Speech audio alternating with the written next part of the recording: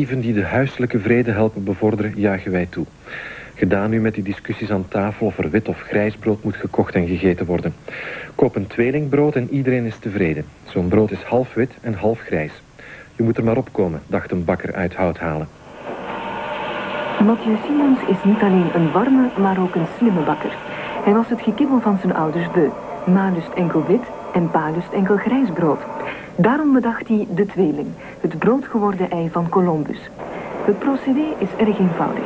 Je hebt enerzijds het grijze deeg en anderzijds het witte deeg.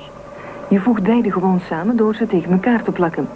Het deeg in juiste vorm kneden, in de bakvorm leggen en dan de oven in. Het tweelingbrood is al behoorlijk populair, vooral in kleinere gezinnen. Zelf houdt onze bakker het ook liever klein, want hij heeft zijn idee niet laten patenteren.